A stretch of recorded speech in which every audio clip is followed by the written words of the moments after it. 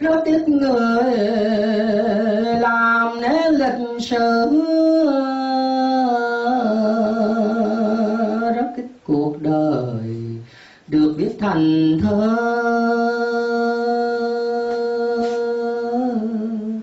Trong số ấy với tôi người là một vượt gian nan xây dựng.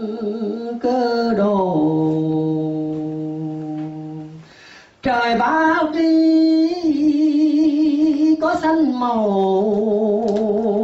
hy vọng ờ, thuở dừng chân cuối chẳng cuộc đăng trần. Nước sông sen có gì là lạ, hoang đào người bỏ lại sau lưng.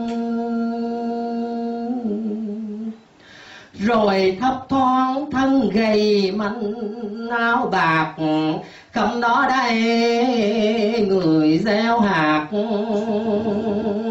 mầm.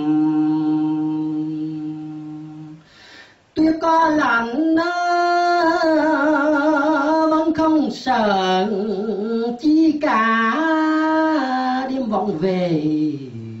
Quê mẹ vẫn xa xăm. Đôi vai nặng nghĩa sông hằng sông cửu vòng tay người ôm trọn dáng.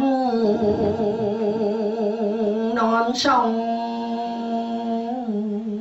trang sử việt đậm màu trang sử phật. Chuyện ngàn xưa giờ, kết nắng cầu vòng. Chung tiếng hót người gọi chim về tổ kể nhau nghe câu chuyện đạo đông đầy. Này cõi tận người gọi hồn dân tộc tình quê hương người sáng giữa trời tây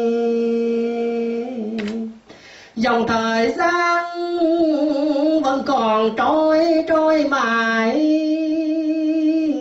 Hai mươi năm cũng chỉ một chặng đường.